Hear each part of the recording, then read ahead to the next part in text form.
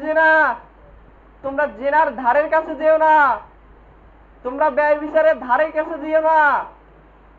এটা অশ্লীল পথ, নিকৃষ্ট পথ। আল্লাহ তাআলা সতর্ক করে দিচ্ছে যে জেনার ধারের কাছে যেন আমরা না যাই।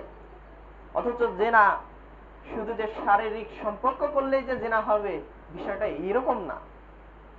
আপনি যে একটা খারাপ জিনিস দেখছেন আপনার চোখ দিয়ে উপলব্ধি করছেন, সেটা কিন্তু আপনার জেনা হচ্ছে।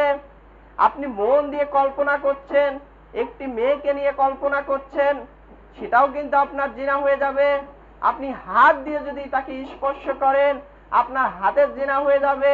আপনার অন্তর দিয়ে যদি কল্পনা করেন, আপনার অন্তরের জেনা হয়ে যাবে।